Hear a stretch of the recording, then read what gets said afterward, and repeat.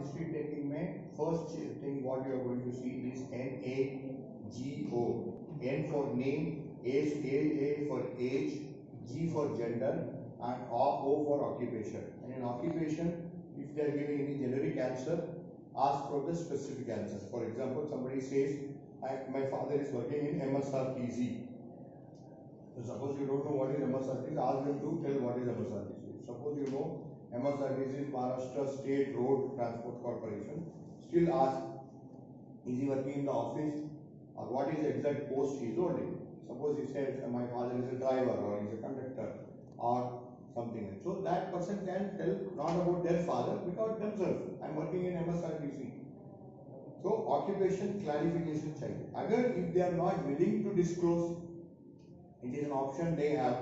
So you have to put it in bracket does not want to disclose so that is the first part nago n a g o second part is f e d p fed up so F for full postal address, E for email ID, D for the date of assessment. When did you take this assessment? And P for phone number. And two phone numbers, if they have the WhatsApp facility, the phone number should be the number which they have WhatsApp.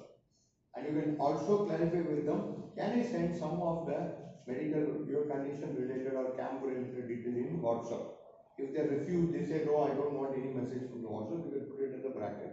Patient does not want to give the WhatsApp number or doesn't want any message in WhatsApp. That is a choice again they are having. Okay, so after collecting all these details, you will go for the past history. History is a generic term. History, for remembering better, it is his story. So here it can be his story or her story. Okay, in that it can be basically past history, present history, no, there is no future history. Okay, only uh, past history and present history and personal history. So there are three important histories. One is past history, another is present history, and another is personal history. Cut it off here and make the next clipping. In the past history, you have to collect medical history, you can collect surgical history, and you can also collect the physiotherapy history, including rehabilitation. Now, in medical history, for example, somebody says, I was a diabetic, but today I am not diabetic. Is this correct? Is this terminology correct?